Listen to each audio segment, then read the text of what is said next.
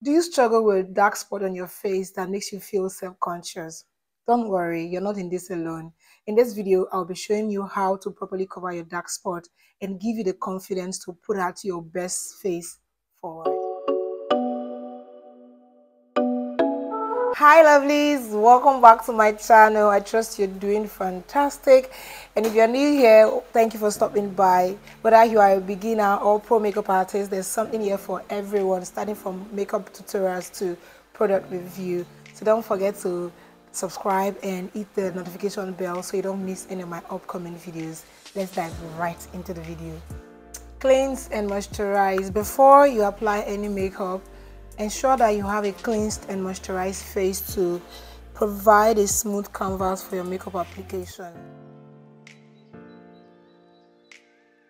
Apply a color corrector. Choose a corrector that is specifically designed to correct dark spots. Green correctors are great for neutralizing redness, while yellow correctors are perfect for um, purple or blue tone um, spots. Peach and orange correctors work perfectly well with dark skin tone. So i'm using a morphe orange corrector. You might want to choose a a concealer that is your perfect skin shade or a, a skin tone um, one shade darker than your skin tone. Then mix both together. Your foundation can also work for this step. Mix these two perfectly in a pan or on the back of your hand to kind of neutralize the orange color and then with a brush or sponge apply it just on the areas you need it.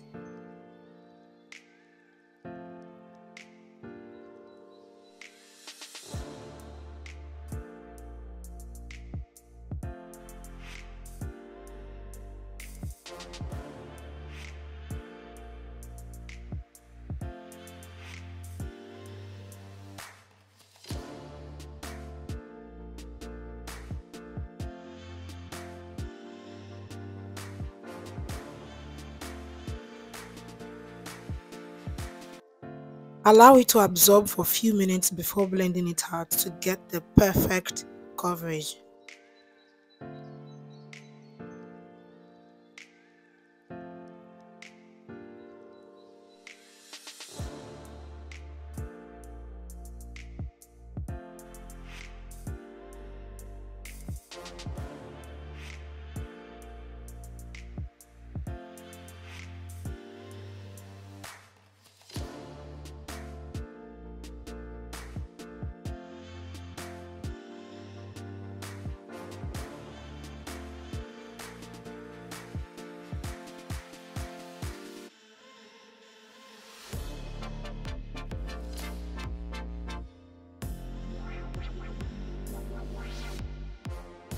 It's all blended out. You can go ahead with the rest of your makeup like you would normally do.